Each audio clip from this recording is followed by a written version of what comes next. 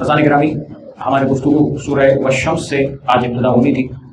پروردگار عالم کا نازل کردہ یہ سورہ کے جو موجودہ ترتیب کے اعتبار سے اکانوے نمبر کا سورہ ہے نائنٹی ون نمبر۔ اور اس سورے کے اعتبار سے جو پروردگار عالم نے آغاز کیا ہے، یہ ان صورتوں میں سے ہے کہ جہاں پر قسمیں تو کھائی گئی ہیں، لیکن یہاں پر ایک ساتھ متعدد قسمیں کھائی گئی۔ یعنی مسلسل تقریباً بعض علماء نے لکھا گیارہ، بعض نے لکھا نو۔ تو یہ گیارہ قسمیں مسلسل پروردگار کھاتا ہے اور اس کے بعد ایک پیغام ہے۔ تو اب پیغام کی اہمیت ان قسموں کے بعد بہت بڑھ جایا کرتی ہے۔ بہت زیادہ امفسائز اور بہت زیادہ تاکید کے اعتبار سے اس کلام کے اندر یعنی غور طلبی کا نقطہ پڑ جاتا۔ ہے پہلے ہم، جیسا ہمارا طریقہ کار ہے کہ ہم اس کے فضائل کے عنوان سے دو تین حدیث آپ کی خدمت میں عرض کرتے ہیں اور اس کے بعد پھر انشاءاللہ مطالب کی طرف توجہ کریں گے۔ صلوات پڑھ دیجیے محمد۔ سورہ شمس کے اعتبار سے سب سے پہلی چیز جو میں آپ کی خدمت میں پیش کروں، رسول خدا حضرت محمد مصطفیٰ صلی اللہ علیہ وآلہ وسلم۔ فرماتے ہیں کہ جو شخص اس سورے کی تلاوت کرے، اس کا اجر و ثواب، پہلے بھی یہ تعبیر گزر چکی ہے کہ تمام ان چیزوں کے برابر ہے جن پر سورج اور چاند کی روشنی پڑتی ہے۔ یعنی یہ پوری دنیا کے اندر جو کچھ بھی سورج کی روشنی سے کیا چیز چھپی ہوئی ہے؟ چاند کی روشنی سے کیا چیز چھپی ہوئی ہے؟ اور یہاں پر جو تعبیر ہے کہ جن پر سورج اور چاند کی روشنی پڑتی ہے، ہم جو دیکھتے ہیں، وہ دیکھتے ہیں زمین کو۔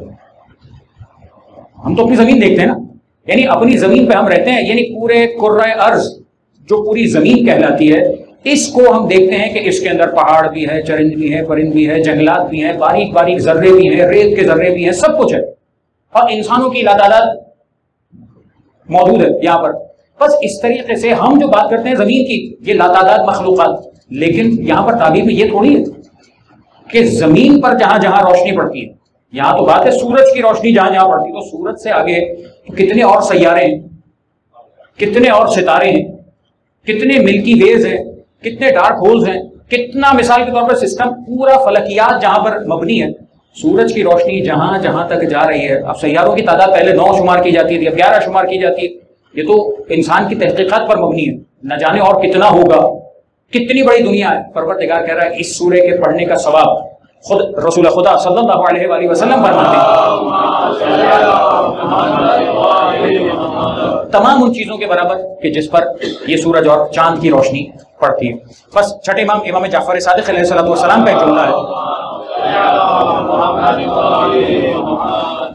فرماتے ہیں کہ جو شخص سورہ و شمس اس کے ساتھ کچھ اور کمبینیشنز ہیں۔ میں نے کل تفصیلات پیش کی تھی آپ کو صرف حدیث پیش کر رہا ہوں۔ وشمس واللیل والضحا اور علم نشرہ علم نشرہ ہم تفصیل پیش کر چکے ہیں۔ بس، بلکہ نہیں علم نشرہ ابھی اس تفصیل میں نہیں آیا۔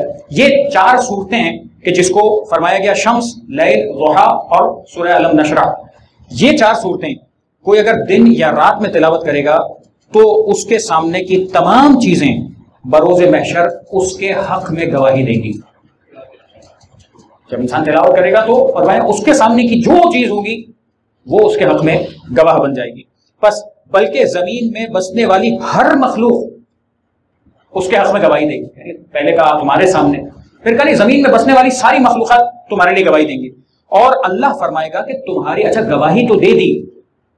گواہی دینے کے بعد گواہی قبول بھی ہوئی کہ نہیں؟ حدیث نے اتنی تفصیل بیان کی کہ گواہی تو دیں گے۔ لیکن اس گواہی کے دینے کے بعد پروردگار عالمی ارشاد فرمائے گا کہ تمہاری گواہی قبول ہو گئی۔ اس بندے کے حق میں کہ جس نے ان چار صورتوں کو پڑھا، تمہاری گواہی قبول ہے۔ لہٰذا میرے بندے کو جنت میں لے جاؤ۔ یہ میرا فضل اور احسان ہے کہ میں اسے جنت میں بھیج رہا ہوں۔ بس سوروں کی تلاوت۔ اس اعتبار سے ہم سورہ شمس شروع کرنے والے ہیں۔ اس اعتبار سے ایک چیز۔ ایک اور حدیث اللہ کے رسول صلی اللہ علیہ وآلہ وسلم کی ارشاد کرتا ایک ایسا عمومی نقطہ ہے، غور جتنا کریں گے اتنا ہی آپ کے لیے، بلکہ ہر اس شخص کے لیے کہ جو اس حدیث پہ غور کرے، فائدہ ہی فائدہ۔ میرے پاس اتنا وقت نہیں ہے کہ میں بہت تفصیل میں جاؤں، ہلکا پھلکا بیان کروں گا۔ فرمایا کہ جو شخص توفیق سے محروم، توفیقات، نیک توفیقات، ہم کہتے ہیں نا کہ پروردگار ہمیں نیک توفیقات عطا کرے۔ ہمیں عبادت کرنے کی توفیق ملے، ہمیں روزہ رکھنے کی توفیق ملے۔ خود اللہ کے رسول نے جملہ ارشاد فرمایا خطبے میں دعا کرو کہ پروردگار تمہیں اس میں روزہ رکھنے اور عبادت کرنے کی توفیق دے۔ غالباً روزہ اور نماز کی بات ہے۔ تو بس وہاں پہ بھی توفیق کا لفظ آئے گا خدا تمہیں موفق کرے اس مہینے کے اندر کہ یہ کر سکو۔ بس توفیقات جو پروردگار کی طرف سے عطا ہوتی ہیں۔ بس جس کے پاس توفیق پروردگار ہے، اس کے لیے تو بہت سارے امور بہت آسان ہیں۔ ایسا کہ جیسے سامنے کا مرحلہ ایسا کہ جس کے لیے بہت آسان ہے کہ روزانہ اٹھنا، بیٹھنا، کھانا پینا، جس طریقے سے اس میں سوچنا نہیں پڑتا، جسے توفیق پروردگار حاصل ہوتی ہے، وہ ان نیکیوں کے کاموں میں بھی سوچا نہیں کرتا، وہ کام کر جایا کرتا۔ بس یہ توفیق